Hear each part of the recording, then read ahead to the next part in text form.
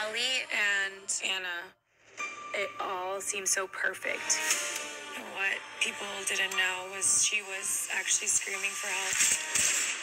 Her light was surrounded by a lot of darkness. Ana's an amazing mother. She adored her daughter more than anything in the world. Ali's a rising star on TikTok. He's doing these impressions.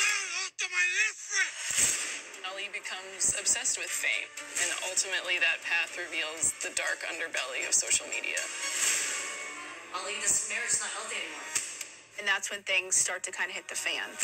Ali wants Ana to basically have Ali be the center of her world.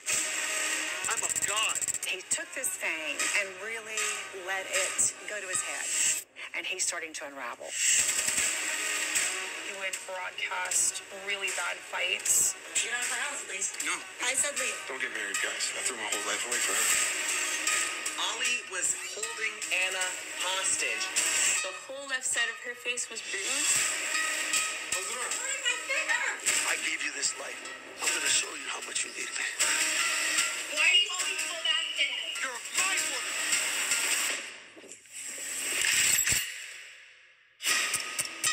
Internet can be such an evil place. You need people like me so you can point your fingers and say that's the bad guy.